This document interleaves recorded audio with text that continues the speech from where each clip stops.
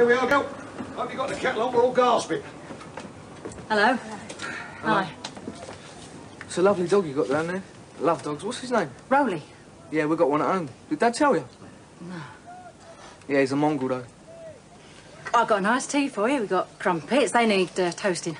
Sit down then. Well, I'll tell you what, I better show the guys to the bathroom. I'll wash your hands, For baby. goodness sake, Dad. We ain't kids, you know. No, of course you ain't. Make the tea, Frank. All right, babe. Well, what do you think of the Queen Vic then? It's not a bad old place, is it? Yeah, it's all right. Must be funny living here, though. This awful smell of beer all the time.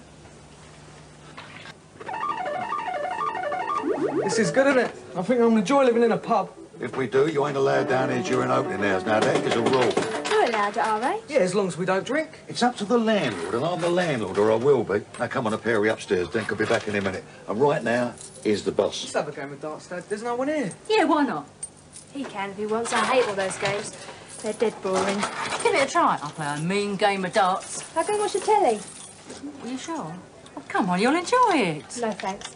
Come up with me, Dad. While they're playing, we can have a chat. All right, babe.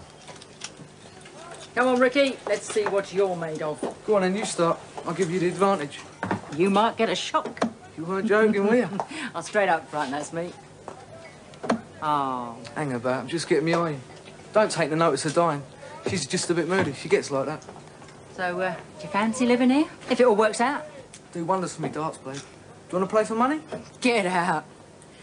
I expect you've all been very close, not having a mum and that. Yeah, well, Diane's just got used to it, bossing us all about. She'll come round.